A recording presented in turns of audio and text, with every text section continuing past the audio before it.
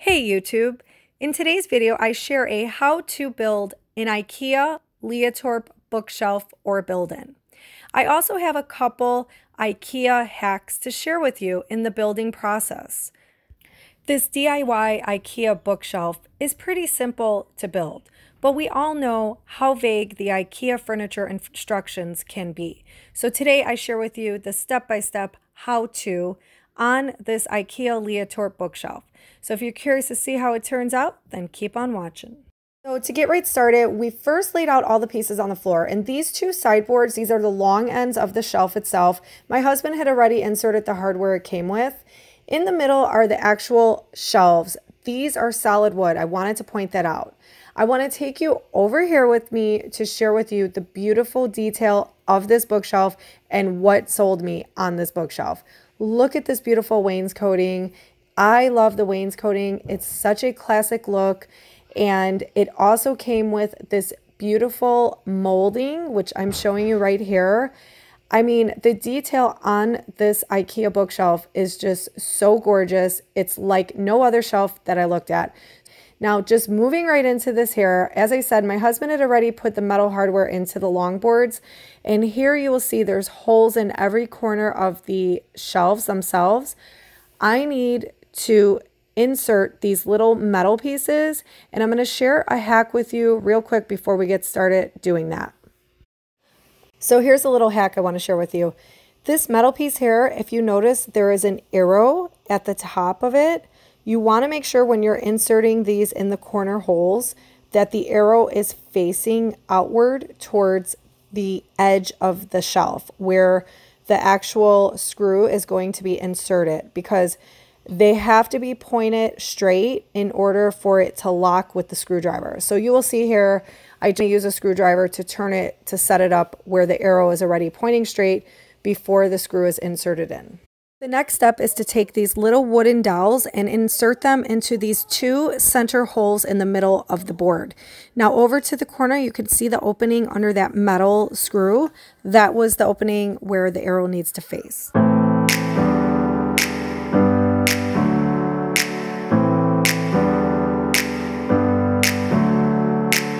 Never up, never down, never like a theme in a song, clever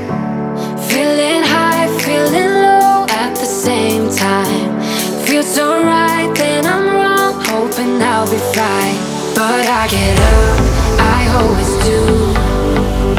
I never think, I always do. Never thought I wouldn't jump, oh what a fool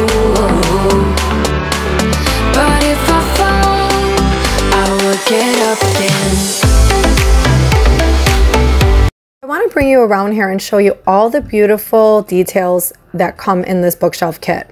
So up top, you'll see the long center molding piece that goes on the top. And then here are the two side pieces that wrap around the top molding. And um, this was actually flipped upside down.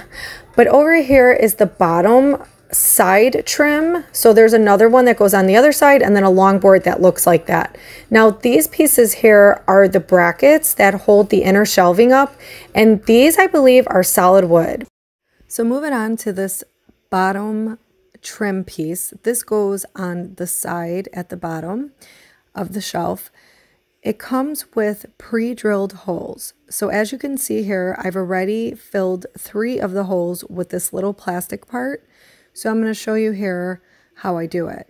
So you stick the plastic part into the hole and then you use this metal puncher tool that comes with the kit and you push it over the plastic part and then you want to take a hammer and just give it a couple good whacks.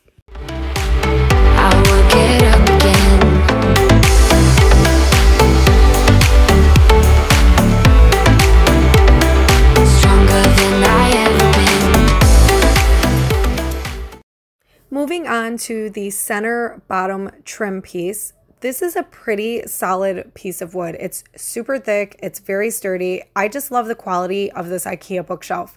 Anyways, if you turn it around, you will see that there are four L brackets that attach with a screw.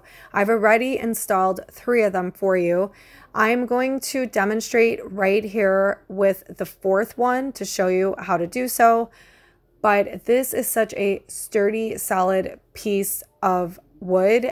I'm just super pleased with the quality and the look of this IKEA bookshelf. Seriously, like you can't go wrong with this one.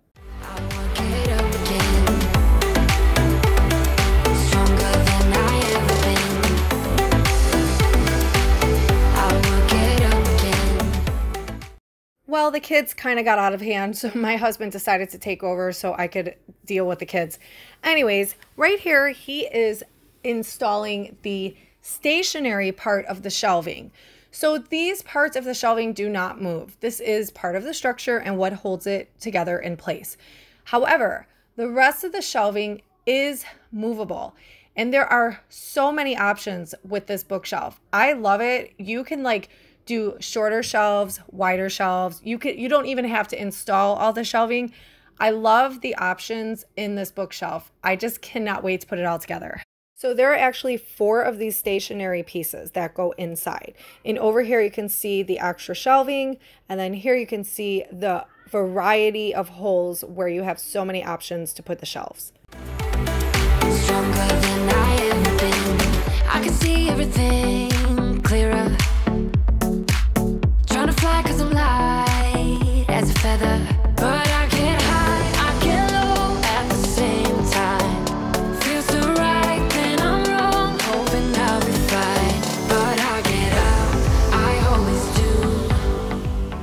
This track is what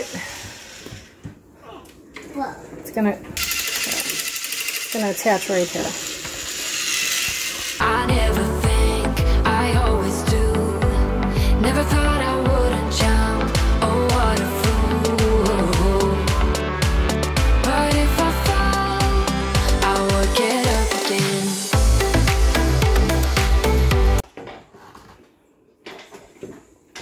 So what are you doing? Locking them in. Just locking, locking each one of those in? That connects the, the parts. So next are these little black push-ins. You can just push them in with your finger. I'm going to go ahead and I'm going to insert them in all of these holes that are along the edge of the back. This is going to hold the backing into place and then following this is a push pin that goes inside of it.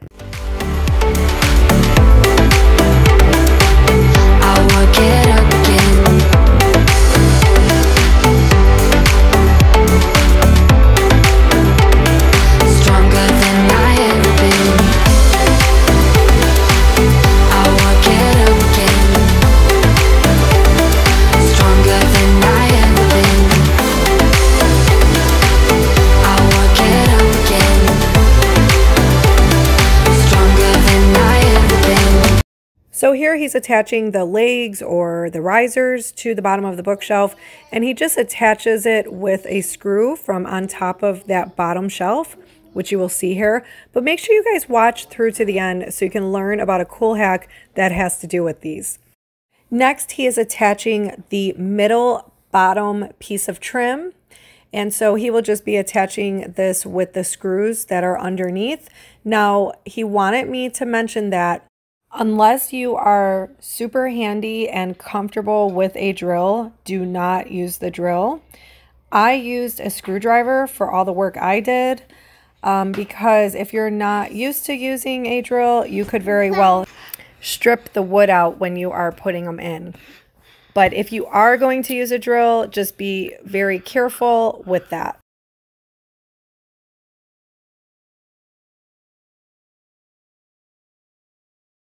So now he's going to finish up the bottom part of the trim by attaching the two side pieces.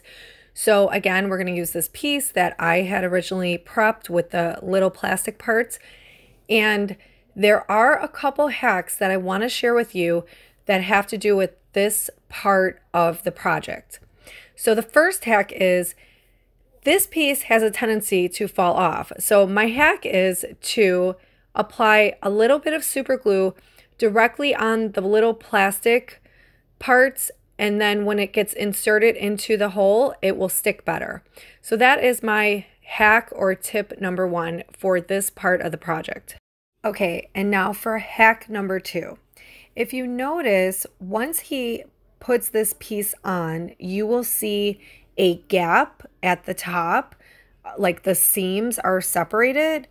And so the second hack I have for you is to hammer it in, but you cannot hammer directly onto the wood board.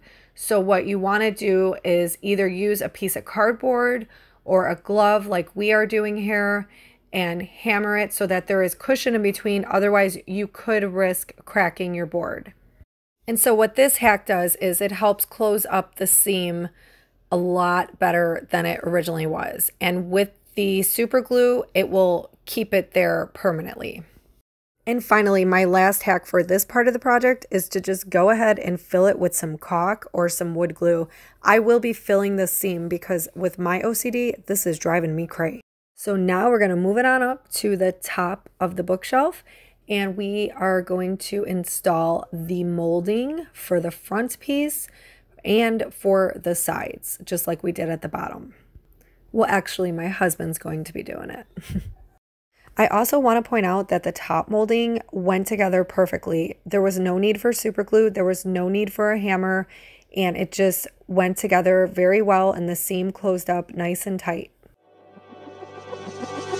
We're falling out, we have reached disaster Don't know where we're gonna be after. And we do it all again and again and again and again. Again and again and again and again. We're falling, falling down, we faded. But I know, I know that we can save it. Cause we're like Alpha and Omega. Whatever happens doesn't matter, I know we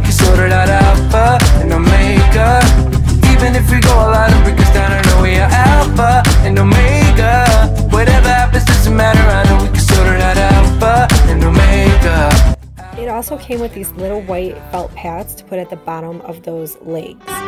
Like the waves pull you down underwater We're fun until we hit the bottom And we do it all again and again and again and again Again and again and again and again So to install the shelves, you first have to pushing these little metal pieces into the pre-cut holes. So there's two for each one. And then you will take this wood bracket and you will just match up the holes to the push pins and push it right in.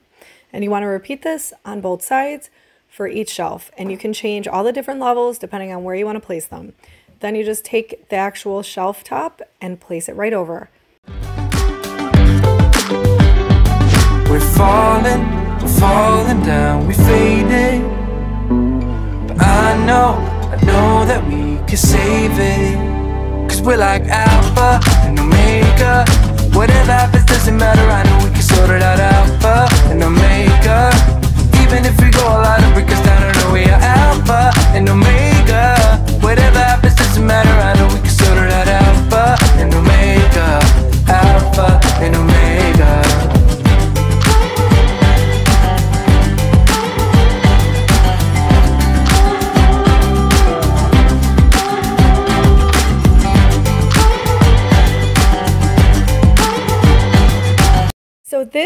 added really cool feature to this whole shelf system. If you see, I lift this here, there are two holes. You use one of those same metal push pins that we use for the brackets. Stick it in the center, push this down, and it locks the shelf in place.